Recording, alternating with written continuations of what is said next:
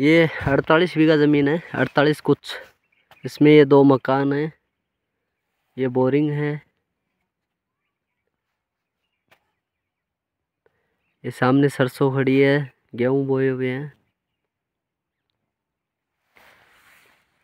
सामने इसके रोड है।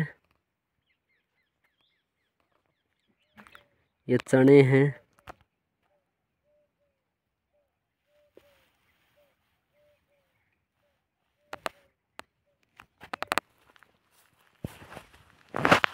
भैया देखो यार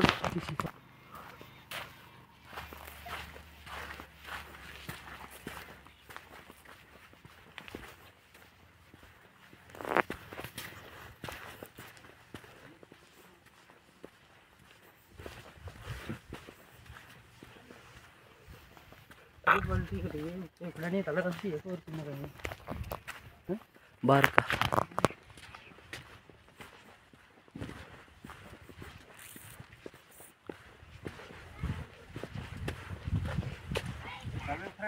हाँ। ये जो बाइक आ रही है, उससे भी उधर एक फ्रंट है, आधा। आधा इधर है।